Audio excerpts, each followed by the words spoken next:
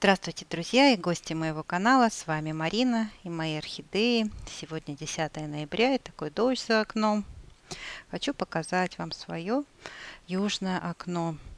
Я поставила на него все цветущие орхидеи из этой комнаты.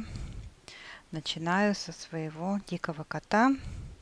Это дикий кот голландской селекции.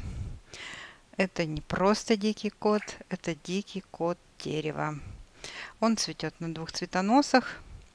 У первого цветоноса длина около метра, второй немножко поменьше. И он несчастный был весь погрызен трипсами.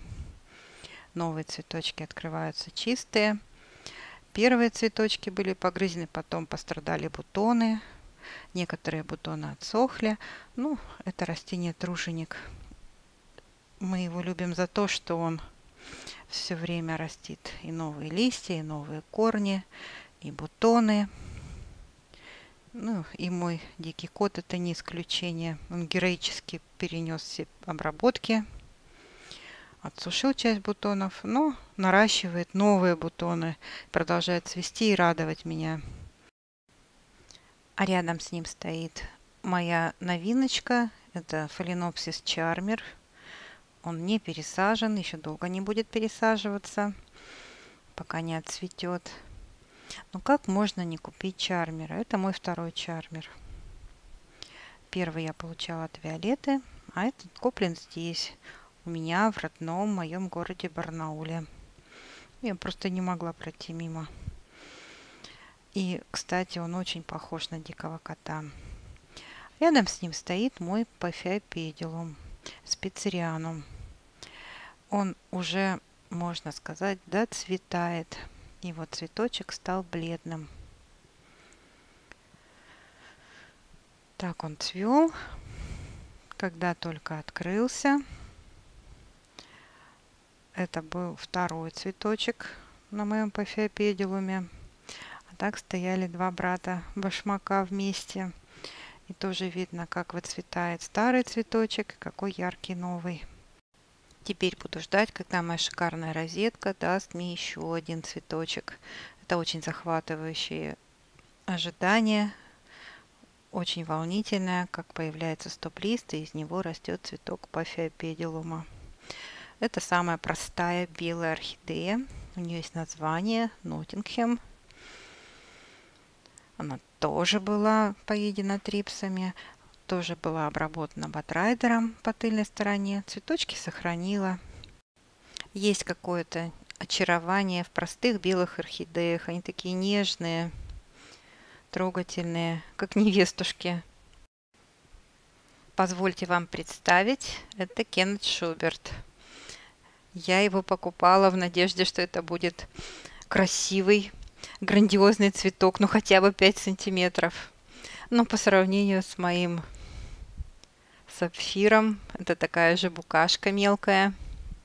Ну, немножко больше фиолетового. Размер цветочков, ну, может быть, три с половиной сантиметра. Ничего грандиозного. Но у него есть тенденция, как у Пепл Мартина. Он доращивает на концах цветоносов новые цветочки. Ну, так вот стоит по одному цветочку и дальше наращивает бутончики.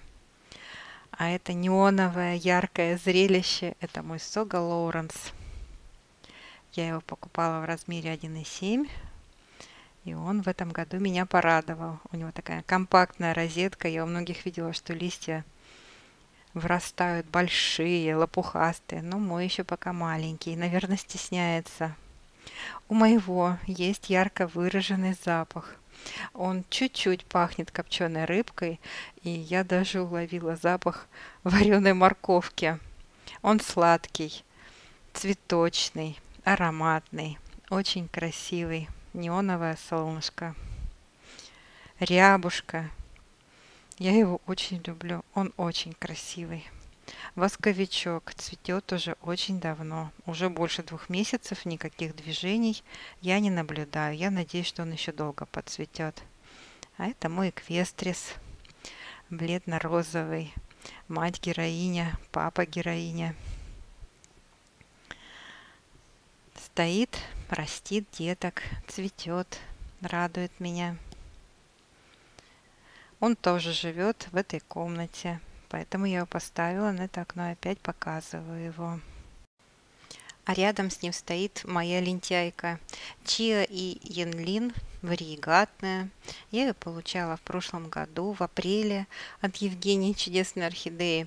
И вот дождалась только этим летом. Она проклюнула цветонос, но у меня там в горшке растут два растения. Одно обычное из Леруа Мерлен, но оно не совсем обычное. Оно цветет пилориком. Два Чия и Янлин в одном горшке. Но оно очень быстро отцвело, потому что тоже пришлось обрабатывать от моих ненавистных трипсов. И он прям быстро сбросил свои цветочки. А следующий красотон это мой Green Batman. Он расцвел у меня в этом году на три цветоноса. Причем первые цветочки были бледненькие, а последние, которые открывались, были ярко-ярко, а, с красным крапом, прям такие оранжевые, очень красивые. Сейчас он уже доцветает, уже два цветоноса стоит голых. И только на третьем цветоносе осталось вот совсем немножко цветочков. Они уже сохнут. А следом стоит тоже моя новиночка, белый, чисто-чисто белый биглип. У меня их три. Два были куплены подростками в размере 2,5. Цветения от них я так и не дождалась, поэтому пошла и купила готовый биглип. Но справедливости ради хочу сказать, у меня один из двух биглипов дал цветонос. Вот буду ждать, когда и домашнее цветение наступит у моего, у одного из моих биглипов. Сейчас у меня еще цветет Лека Фантастик. Я его покупала в прошлом году у Оксаны из Астрахани. У него осталось сейчас только три цветочка. Причем видно, один выгорел, стал розовенький. Видны следы борьбы с трипсами. Бутон был поврежден у второго цветочка. И третий уже открылся совершенно чистый, без всяких следов вредителей. Вот такие страдальцы у меня в этом году. Лека Фантастик цветет замечательно, наращивает корни, растит листья. Это очень хорошее растение. И напоследок моя фронтера. Я ее покупала в прошлом году на 8 марта. Она в этом году очень сильно почудила. Это получается третий заход – цветению. Каждый раз она не могла открыть бутоны, отсушивала, открыла всего один цветочек.